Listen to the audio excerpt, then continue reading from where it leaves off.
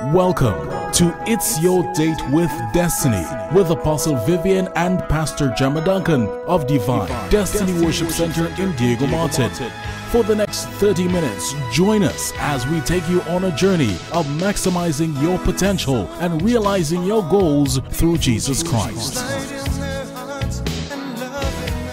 Whether it's on a Sunday, Tuesday, or Friday, or any other day of the week, a warm welcome awaits you at Divine Destiny Worship Center, a place where your full potential is discovered.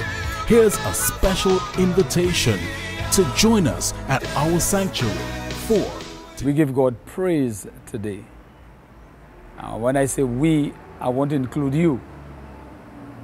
Even in your circumstance, that does not seem to say, let's praise Him. We say at Divine Destiny Worship Center, there are only two times I should worship, two times you should be praising. When you feel like and when you don't feel like. When you feel like, you go faster into the throne room. When you don't feel like, but you still worship, God says it's a sacrifice of praise. Either way, He receives you coming boldly into the throne of grace to obtain mercy and grace in your time of need. And maybe right now you are in a time when you need the grace of God, you need the favor of God. We say to you, a worshiper is a worshiper, is a worshiper. Get into the series, get into the rhythm of what we are doing. We are pursuing this line of teaching because we want you to be a spontaneous, prompt to do it worshiper. You don't wait until you meet other people. You don't wait until you get to church. You don't wait until times are good. You just worship. Like David, you want to make that declaration. Yea, though I go through the valley of the shadow of death, I will fear no evil, for thou art with me. How does God uh, come to be with us? When we give him the praise in the midst of our, of our circumstance. Amen. Okay, good morning. I'm Apostle Vivian Duncan on behalf of my wife, Apostle Gemma and all the Covenanters of Divine Destiny Worship Center, the House of Champions, welcoming in you one more time to It's Your Date with Destiny, the television arm of our media ministry. And today, again, we continue the series. A worshiper is a worshiper is a worshiper coming out of the revelation that God just keeps unfolding for us from Psalm 63. By now, you should have sent for your CDs and DVDs and so on. And by now, as of course, you should have been on your way to Divine Destiny Worship Center to enjoy a worship session with us, which includes the music and the spoken word. We give God the praise that He has so blessed us. So just relax, take a view of our next installment of A Worshipper is a worshiper, is a worshiper. It's your passion for God that will give you the jump over other people in similar situations. It's your passion for God that will make you not turn back when you come up to a mountain because you'll find a way around You'll find a way through, you'll climb over, but you're not going back. Is your passion for God that will take you through the dark valley, shouting and praising Him. Huh? But we're going to talk about that just now. It says, so make a decisive decision of your bodies and look at what he, he regards as bodies. Let's read. Presenting all your members. All your what? And you're not talking about divine destiny with members. You're talking about your fingers. I command my hands to praise the Lord. I command my feet to praise the Lord. I command my lips. All that, all the components that make up your visible being, you can label them as your members. Amen? Amen. And Paul talks about that in other, other um, epistles where he talks about all of us are members of the body of Christ. Just like the body in the flesh has many members, so does the body of Christ have many members, and every member has a specific function. Huh?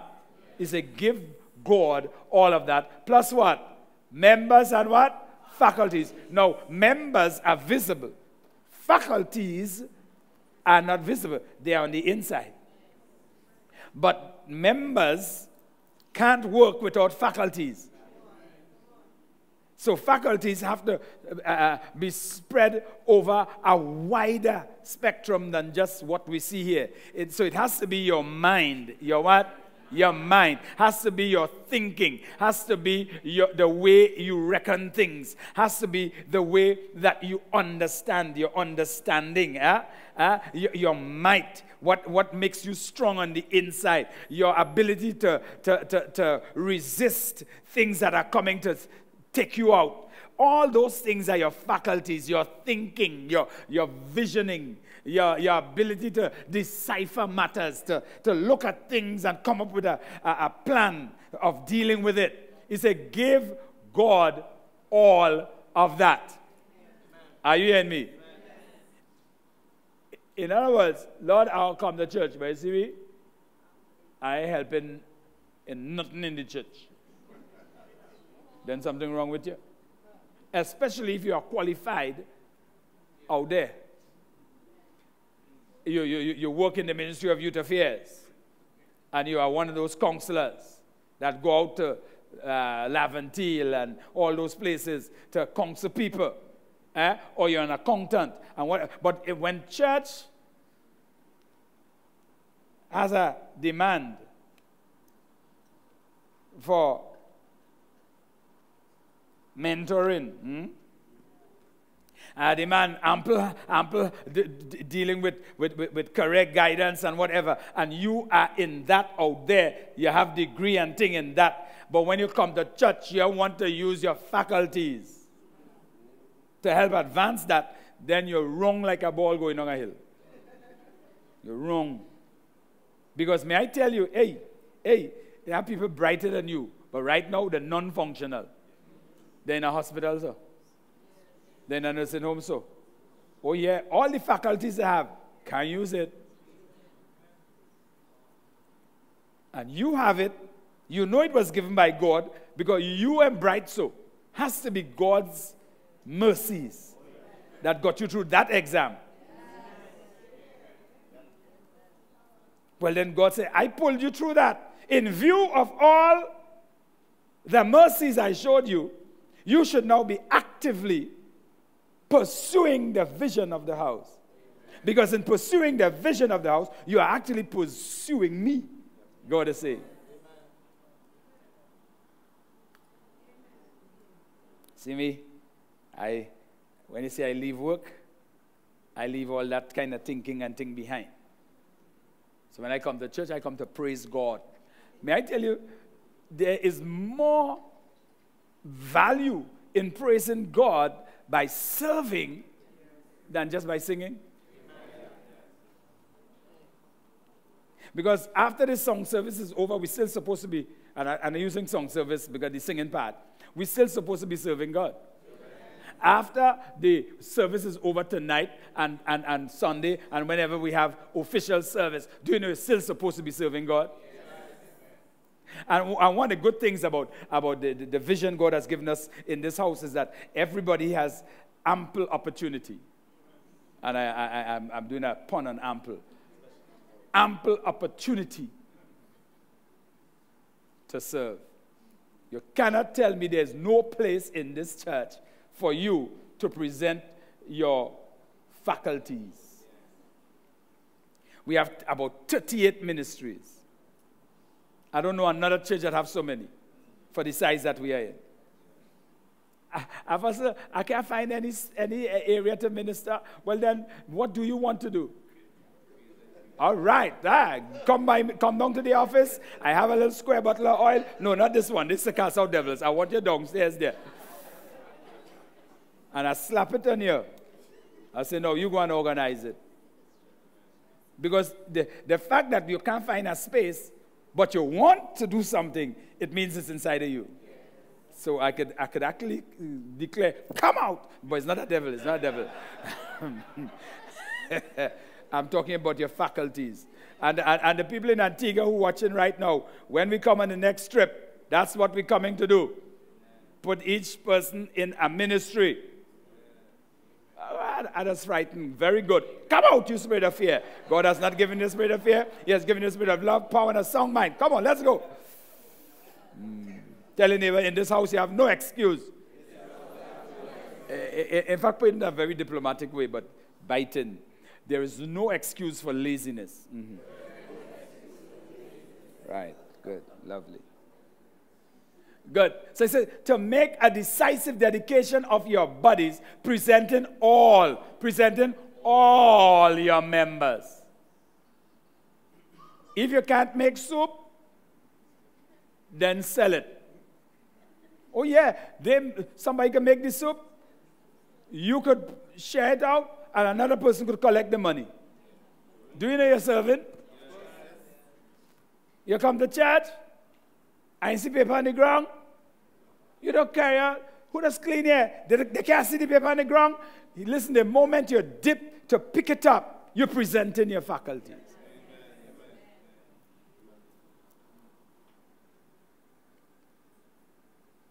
Presenting all your members and faculties as a what?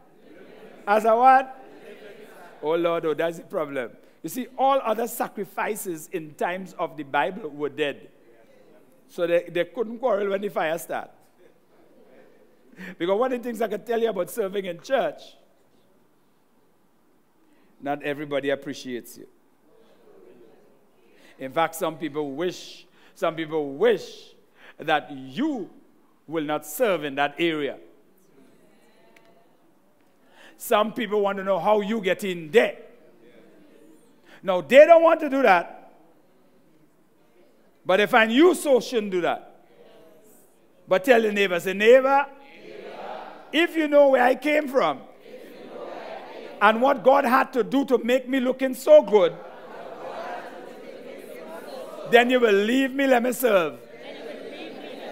Uh huh, uh huh, yeah, yeah. Serious. Because that, that's what has happened to a lot of people.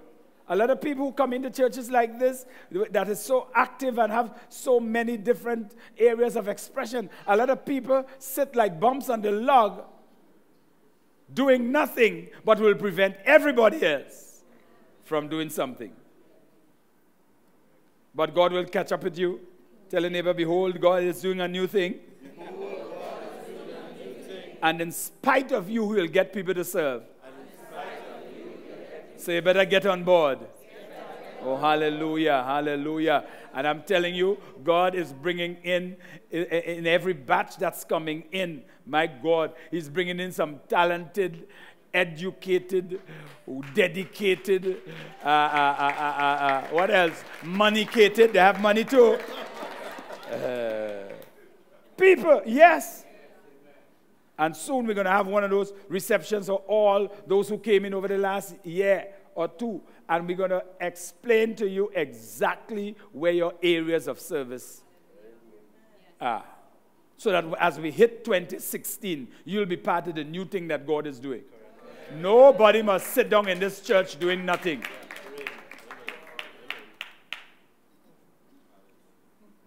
But I can't sing. Well, don't join Judah. There are other places you could join. And if you do join Judah, then we're going to put you in the back.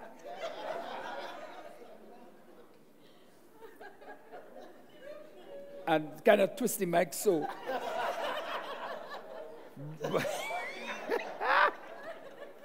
but, at least you're doing something. No, but, but eventually you will learn.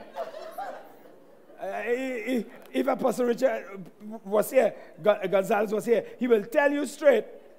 The first time he joined our choir, he was on tuning the keyboard. you, you hear him sing now? You, you ever hear him sing now? So you know what we did? The big concert we were having in Hilton, big Hilton, you know.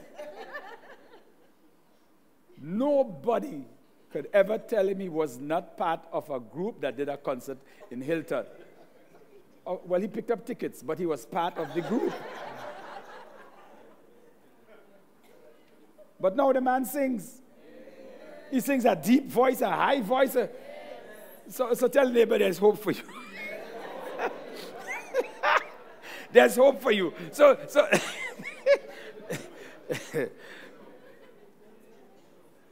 in other words, you cannot be in the kingdom and not serving under the king. Are you in? It's a whole new mentality God wants for us. Because if, if, if, you look what David said, I'm following God with my whole being. If you go up to verse 6, he said, On my bed, when I lie down on my bed, my mind is about God. How do I bless him? How do I show God uh, gratitude for his mercies being shown to me? Other people died in the wilderness. Uh, wolves and lions ate them up but my God kept me. Some died from sunstroke, but I am here, alive and well, in view of all the mercies of God. And then he continues. He said, as a living sacrifice, you're going to be alive, but you have to play dead. Because once it's a sacrifice, it's talking about committing something that is out of your control. Once you commit it, it's dead to you. Are you hearing me? I said, once you commit it, it's dead to you. That's why you don't stress yourself if you give somebody a gift and they throw it down the hill. Hello, it's dead to me. What you know is not to give them a next one. But if they throw it down the hill, what are you stressing for? Oh, good. Look at it. It's not yours anymore. You gave it. Eh?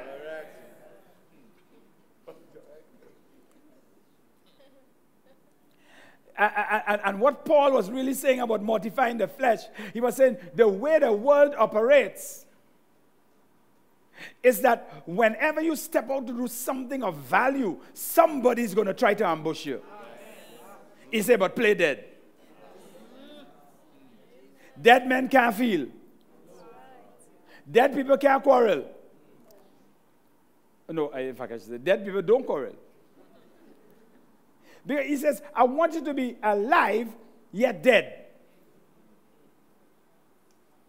Because anywhere you are where you have other people besides you, you're going to have conflicts. No, no, you're not the problem, you know, it's them. Right? Right? Right?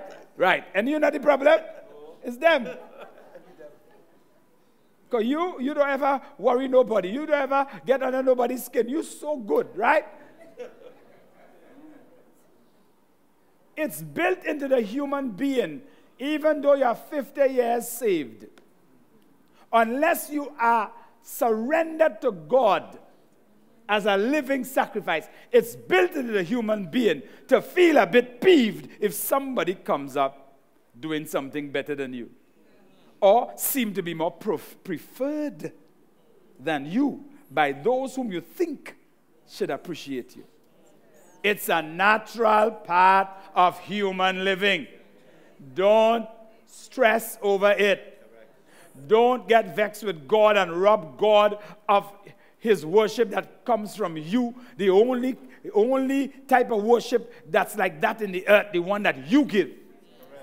Don't rob God of that because somebody got under your skin. And when you thought you were dead to that, you suddenly spring alive. And when you reach in the car park, you, you use Christian curse. You didn't say a word with your mouth, but when they was coming near your car, watch you.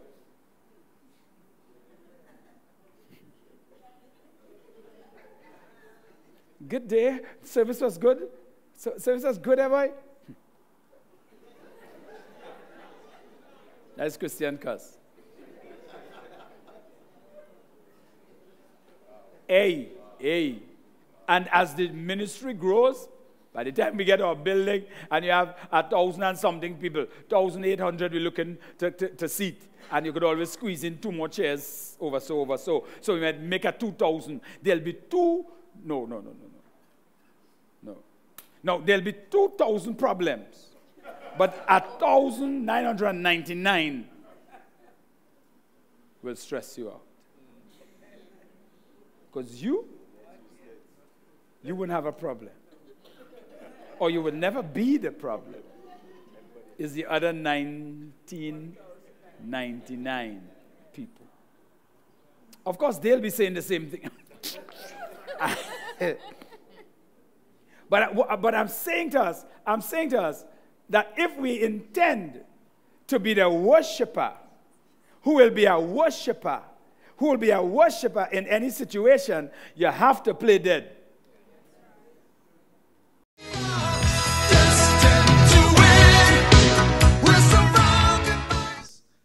I want to thank God tonight for honesty. Yes, my mother has brought me up well. Um, a couple of weeks back, um, usually when I come home from work, I take a little trip through St. James. So I happened to take up a guy and three ladies. So the guy dropped off first, then after I drop off the ladies. So when I watched back, I saw a fat wallet. I say, my God. So I say, all right. Um, it makes no sense. Can't, I can't get rich if I take anything from this. It's, it's, it's a, a lot of Visa card and all the documents in it, money, everything, US, everything.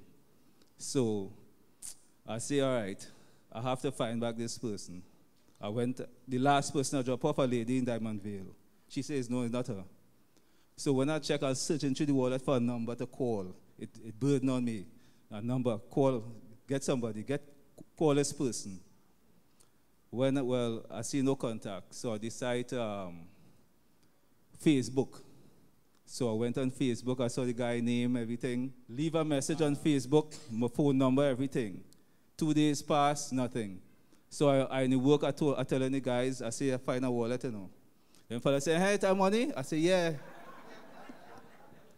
I say, but I'm a man of God. Hallelujah. Amen. Proud to say. Proud to say. So I'm, I'm an honest man. My, my parents grew me up honestly. So I say I have to return that. It's a burden on me. I have to return the money. Then fella say, first me, I'll take that, yes? What? i take that. I say, nah, I can't get rich of that, from that. My God will bless me. So my manager ended up overheard and he say, yeah, you're a good worker. So I say, yeah, man. So um, the following day, the phone rang. Well, I said, well, this is an opportunity to minister to this guy, right? Because I decided to say, well, the world economy went down because of dishonest people, greedy people. Hmm. So I said, I'll use that. I'll use that, right, to minister to this guy. I say, next thing you know, the, um, a few hours after, I, I get a phone call from him. So I tell him, I say, don't worry yourself, I have it. Tell me where to meet you. he said, all right, you'll meet me in Independence Square and everything. He said, man, I so, I was so worried. I make a, I, I make a report to the police station. I said, don't worry yourself, I'm a man of God. That's I good. say, Absolutely. I, it's safe with me, everything intact, not a cent missing. See, meet me, I minister to him, I say, the world looking for honest men. I want you to be honest. I want you to know God, that God still is alive today. And He raising up people who's honest and truth.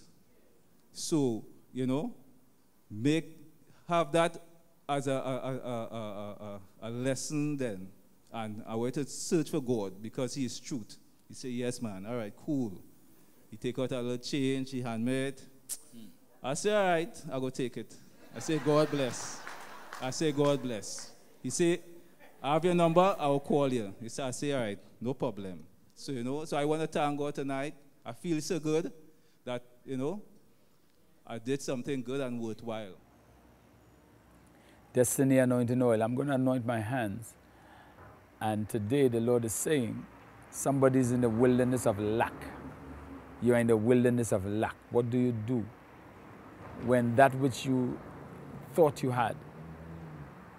You thought you had enough to purchase what you want to have. And you realize prices going up. You realize you don't have what it takes.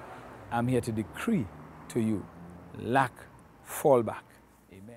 Yes, we say a divine destiny, lack, fall back. Lack, fall back. Come now, prosperity. And that's not any hocus pocus. That's what the Bible says.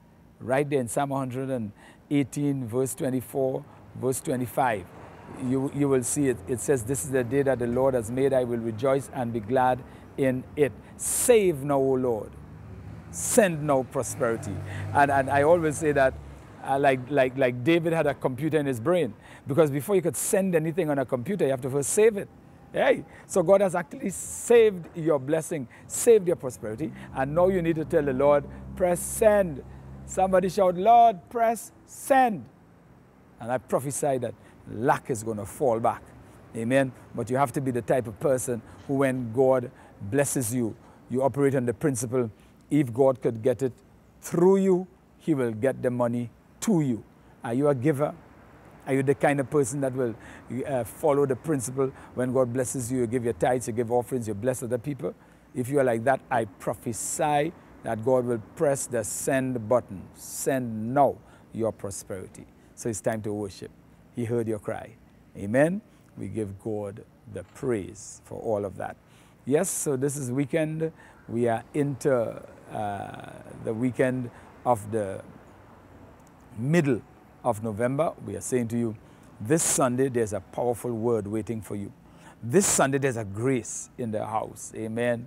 Come, bring your friend, bring your, your, your, your, your auntie from England, bring your sister from uh, North Carolina who come down, bring your cousin from Canada, bring all your friends from New York who come down to some party somewhere. Bring them to church first. I dare say to you, they will tell you, uh-uh, we're not going to the party again because they would have had a Holy Ghost party at Divine Destiny Worship Center. Amen. Good. And during the week, we have Tuesday service at 5:30, deliverance service, live streamed. We have Wednesday service at 11 a.m. It's a midday service, and Friday at 7, live stream as well. Deliverance. That's, that, that's what we do at Divine Destiny. As we worship, the anointing comes down, and anything that's not of God has to be removed in the name of Jesus. Amen. And of course, our radio programs. On a Monday at 9 p.m., 98.1, it's your date with destiny. On uh, Tuesday, on 107.1, we have Living the More Abundant Life at 9.30 p.m. And then 3 p.m. on a Friday on 98.1, Ask Pastor Gemma. You need to be listening to all of them and getting more people joining you to listen. The book of the month is I Am Woman. The first book Apostle Gemma wrote, you need to get a copy of that book called 695 7892 or just drop in at Divine Destiny Worship Center and you will get those books. And do you know, for the folks in Tobago, Tobago, we, we do have books at uh, Restoration, which is affiliated with us, but now CLC CLC, the, the, the Christian Literature Crusade, is now open downstairs of Hepzibah Ministries, downstairs of Hepzibah Ministries on Bacolet Street. And you know what? CLC Tobago now carries all our books. So you want to know where you can get books that we have written and you are in Tobago, First, you can check Restoration. And Restoration, every Sunday, they have a book table there. But now, every day, during the week, until Saturday, at CLC, new um, headquarters in Tobago, downstairs of Hepzibah Ministries, you can get a copy of any of our books. And when we come over to Tobago, yeah, what do you do? Bring them, and we're going to autograph them for you. Amen? That's a deal. So until we meet again, I'm Apostle Vivian Duncan. We have my wife, Apostle Gemma, and all the covenanters at Divine Destiny Worship Center, the House of Champions. I declare to you, you began life as a winner. Don't live it as a victim or die as a loser. You're a God idea because when God made you, He had destiny on His mind. God bless you until we meet. again. as you continue to reach your goals through Jesus Christ. This has been It's Your Date with Destiny, a production of Divine Destiny Media Ministry. Until next time, you began life as a winner. Don't live life as a victim or die as a loser. For when God made you, He had destiny on His mind.